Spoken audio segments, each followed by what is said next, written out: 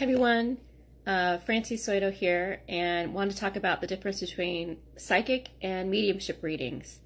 When you get a psychic reading, you're typically looking for guidance in a particular area in your life, whether that's health or career or relationships or even some spiritual guidance into your spiritual path. Um, a lot of times, psychic readers will read your energy, pick up on your energy, feel into your energy to give you some guidance. Um, they may use tools like crystals or tarot or oracle cards. They might read your palms. Uh, they might do a couple of other techniques to kind of feel into and read your energy. But typically, a, a psychic reading is more about something in your life right now that you're looking for guidance in. Um, one thing to avoid is folks that will predict certain things. Um, predictions are really tricky when it comes to psychic readings because predicting the future is really tricky because we have free will. And so you might do something tomorrow that changes your the course and the trajectory of your future. We might be able to get a flavor when things might loosen up or change or shift, maybe a couple months down the road, maybe a year or two down the road, but I mean, that's like this is exactly how it's going to happen. That's really not how it works.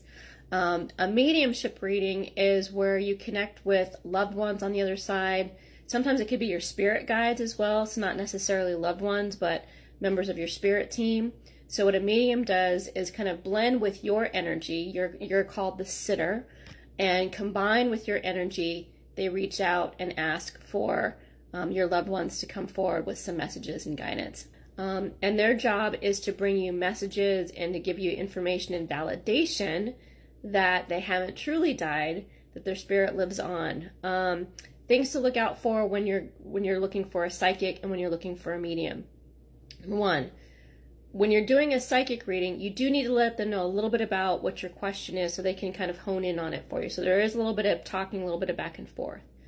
With a mediumship reading, you really don't want to give them too much because a lot of times that'll feed into their brain and kind of influence the reading in some way. So when I do a mediumship reading, I will ask, just for the first name of someone you want to connect with, um, and that's it. Don't tell me anything else.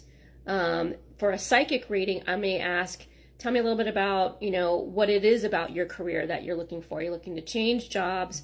Are you looking to move out of companies? Are you looking to completely switch careers? So I need to get a little bit more detail in order to make sure that I'm asking the right question in a psychic reading.